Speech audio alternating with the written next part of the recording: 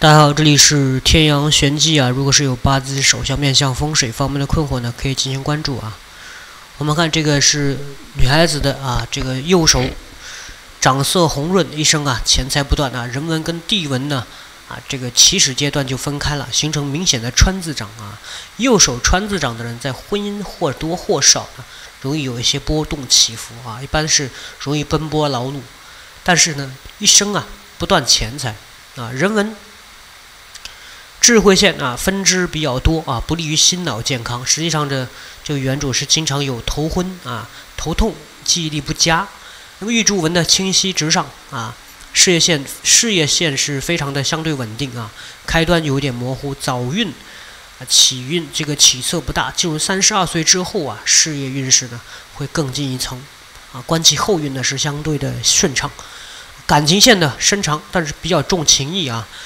但是这个底端的分支啊，包括导纹都比较明显啊，情感起伏不定啊，不利于早婚啊。但是又早婚了啊，三十三、三十六岁呢，感情容易波动啊，夫妻意见分歧明显。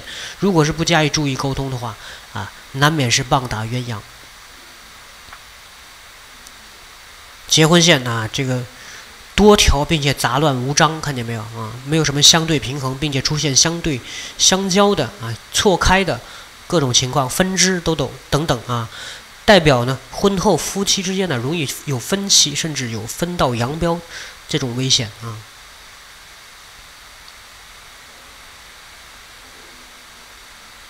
我们看这个手背来看啊，手背来看四指非常的秀长啊，龙虎相配，龙长虎短一生啊。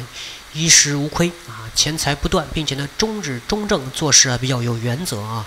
中指跟无名指分开缝隙呢是比较明显，钱财啊容易这个财进财出，婚姻容易波动啊。食指跟无名指啊几乎是等长，具有极强的管理和驾驭能力啊。但是呢，挑这个挑剔性比较强，的心性比较高啊，有点眼高手低的感觉啊。好了，有关这个手相内容就简单的分享到这里啊。这里还是天阳玄机啊。如果是有八字手相面相风水方面的困惑呢，可以进行关注啊。我们下期再见。